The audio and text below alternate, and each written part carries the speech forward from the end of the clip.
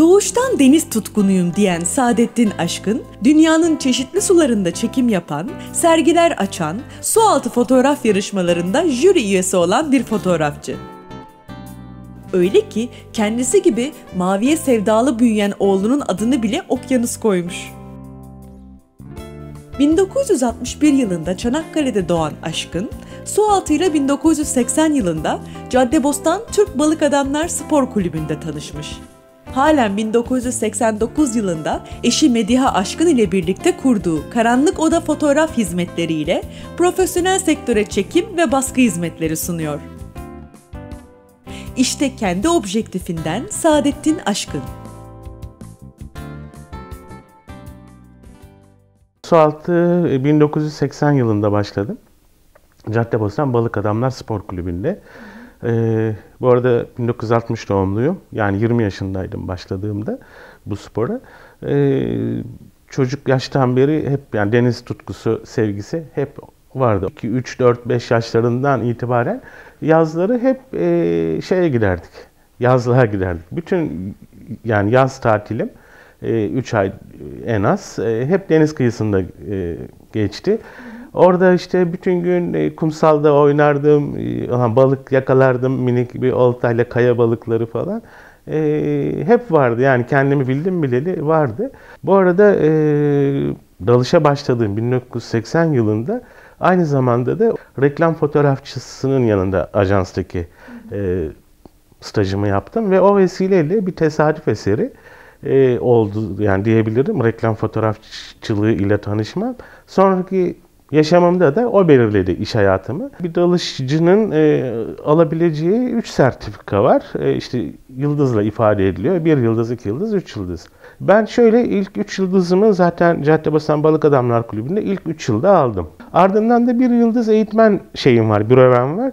E, ama e, şöyle diyeyim yani profesyonel olarak e, herhangi bir dalış kulübünde eğitmen olarak çalışmadım. E, şimdi su altında e, iyi bir fotoğrafçı olmak için öncelikle iyi bir dalıcı olmak gerekiyor. İyi bir su altında e, su altında e, yüzerliliğiniz, dengeniz, sakinliğiniz, panik yapmamanız bunlar çok önemli. Öncelikle çok iyi bir yani balık adam olduktan sonra ardından e, fotoğraf bilgisini de iyi bir iyi bir fotoğrafçı, su altı fotoğrafçısı olmak için e, kompozisyon, ışık bu bilgileri de bildikten ve su altında da kendinize e, sakinlik olarak hakim olduktan sonra e, artık zaten gerisi geliyor. Tabi fotoğraf çekmek için dalışa gittiğimizde yalnız değiliz. En az 3-5 arkadaşımız var. Herkesin bir de şey var, badileri oluyor, dalış badileri oluyor falan. Şimdi bazı arkadaşlarımız, e, üzülerek söylüyorum, bir konu yakalıyorlar, çekiyorlar onu. Çektikten sonra başkaları aynı konuyu paylaşmasın, etmesin diye orayı dağıtıyorlar. Bir palet darbesiyle bulandırıyorlar. Ya da bir balıksa onu oradan kaçırıyorlar. Kendisi kaçmadan, ürkütmeden çekmiş. Geri çekilse bir arkadaş da. Bu tür hırsa karşıyım ama bu tür hırsa olan arkadaşlarımız var. Ben bunlardan değilim kesinlikle. Gösteririm, paylaşırım. E, hatta şöylesini bile bir keresinde yaşadım. Bir konu buldum. Kızıldeniz'deyiz. Çekiyorum. Yanıma geldi birisi omuz attı. Baktım e, yine çeken bir arkadaşımız dalıcı. Ben konsantre olmaya çalışırken yavaşça itti. Ben kadrajdan çıktım o yerleşti yerime. Yani böylesine hırslı. Teknede yukarıda çok şey. Yani mükemmel insanlar. Ee, ama e, nedense su altında bazıları hırsına yeniliyor. Ee, şimdi su altında e, yani kategorize edersek yani genelleme yaparsak iki tarz var. Makro, yakın çekim makro ve geniş açı fotoğraflar var. Ben e, yoğunlaştığım makro ve yakın çekim fotoğraflar oldu. E, yani geniş açı denemelerim de oldu ama çoğunlukla yani detaycıyım belki de ondan mıdır bilmiyorum. Hep yani yakın plan çalışmayı tercih ediyorum. Bazı arkadaşlarımız özellikle köpek balığı çekme şeyindeler. Şimdi bir dalışa gittiğimiz zaman köpek balığı çekmek için hep açık sulara bakmak zorundasınız.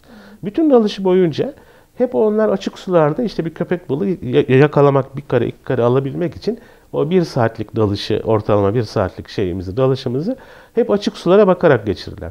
Bense o zamanı yani köpek balığını bekleyip o kadar harcamaktansa işte bütün bir filmi e, daha şeye dönüp yani kara e, su altına dönüp yani açık denize değil de rife dönüp orada işte deniz tavşanı, balık, e, mercan falan gibi böyle bütün canlıları görmek, o makro dünyayı daha iyi gözlemlemek beni o daha çok cezbediyor. İlk sualtı fotoğraf yarışması 1992 yılında yapıldı. Yani ben 80'de başladım 12 sene sonra. Bu 12 sene içinde de birçok fotoğrafçıyla zaten tanışmıştık.